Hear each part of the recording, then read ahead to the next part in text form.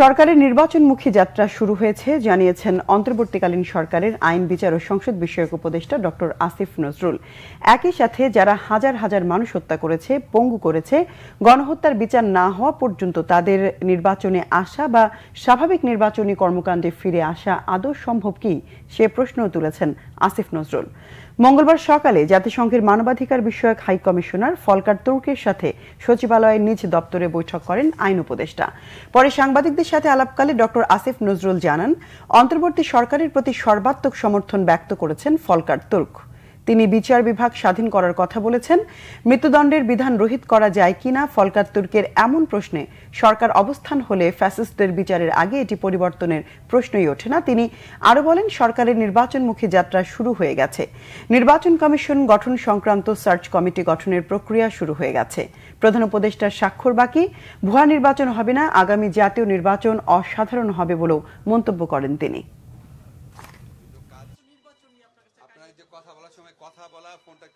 আমাদের সরকারের যে নির্বাচনমুখী প্রক্রিয়া গ্রহণ করার যে কাজ, সেটা শুরু হয়ে গেছে। নির্বাচনমুখী যাত্রা শুরু হয়ে গেছে বলতে পারেন। কারণ আমাদের যে নির্বাচন কমিশন গঠন করার জন্য সার্চ কমিটি, সেই সার্চ কমিটি গঠন করা হয়ে গেছে।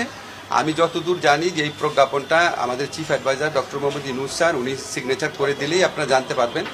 হয়তো উনি করেছেনও আজকে কালকের মধ্যে জেনে যাবেন।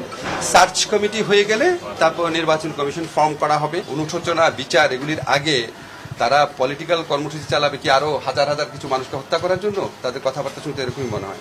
ফলে এগুলি একটা প্রসেসের মধ্যে দিয়ে আসবে। আপনারা নিজেরাই বিচার বিবেচনা করে দেখেন, এরকম গণহত্যা চালানোর পর একটা দল যখন এটাকে এখনও এটা কি আপনার বিভ্রান্ত করার চেষ্টা করে আমাদের এত বড় আন্দোলনের নেতাদেরকে কিশোর গ্যাং বলার চেষ্টা করে এবং আরও মানুষকে সুযোগ পেলে হত্যা করার দেখে নেওয়ার হুমকি দেয়, এই দলের রাজনৈতিক অধিকার থাকা উচিত কিনা, বাংলাদেশের প্রত্যেকটা বিবেকবান মানুষের কাছে প্রশ্নটা রেখে